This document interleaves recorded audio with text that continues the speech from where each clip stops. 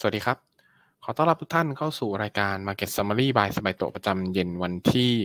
22 พฤศจิกายน 2566 นะครับ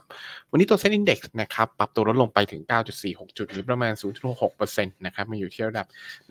1,415.15 จุด ด้วยมูลค่าการซื้อขายเนี่ยต้องบอกว่าค่อนข้างบางเลยทีเดียวนะครับ อยู่ที่ประมาณ 34,000 ล้าน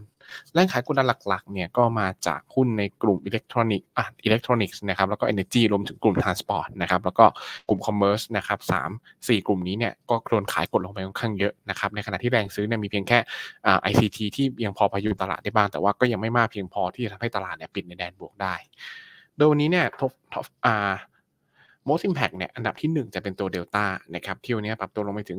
3.57%นะครับ impact ตลาดประมาณ 3.04 จุด อันดับที่ 2 เป็นตัว AOT นะครับลงต่ออีก 1.86%นะครับ impact ไปลบ 1.45 จุด อันดับที่ 3 เป็นตัว GAF นะครับปรับตัวลดลงไป 2.14% impact ไปลบ 0.95 จุด อันดับที่ 4 เป็นตัว CPL Extra และอันดับที่ 5 เป็นตัว GPSC นะครับก็หลักๆเลยเนี่ยการปรับฐานลงของดัชนีในรอบนี้เนี่ยก็เป็นก็มาจากการที่อ่า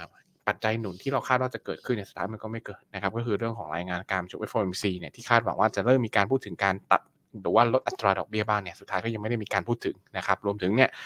มุมมองของเงินเฟ้อเนี่ยก็ยังคงมีมุมมองเป็นเชิงลบอยู่นะครับ ยังคงมองว่าเงินเฟ้อเนี่ยอาจจะปรับตัวลงช้ากว่าที่คาดกันไว้นะครับทำให้มีความจำเป็นที่จะต้อง คงอัตราดอกเบี้ยในระดับสูงไว้นานกว่าที่คาดนะครับ อันนี้ก็อาจจะเป็นปัจจัยกดดันให้แรงขายเนี่ยมันยังกดดันอยู่นะครับ แล้วก็ภาวะตลาดช่วงนี้ต้องบอกว่าค่อนข้างเงียบเหงานะครับโวลุ่มเนี่ยก็ค่อนข้างบางด้วย อาจจะต้องรอดูปัจจัยหนุนใหม่อีกทีหนึ่งภาพทางเทคนิคนะครับก็แกว่งย่อตัวลงมานะครับมีแนวรับสำคัญอยู่ที่ 1,408 แล้วก็ 1,400 ส่วนแนวต้านอยู่ที่ 1,422 แล้วก็ 1,430 กลยุทธ์การลงทุนติดตามได้ในวันพรุ่งนี้นะครับผ่านรายการสไปโต Morning Brief